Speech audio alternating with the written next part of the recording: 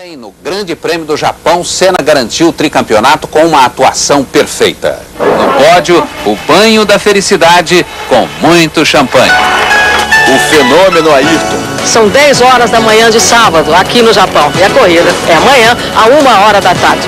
E aqui, no grid de largada da torcida, em primeiro lugar, estão os fãs de Ayrton Senna.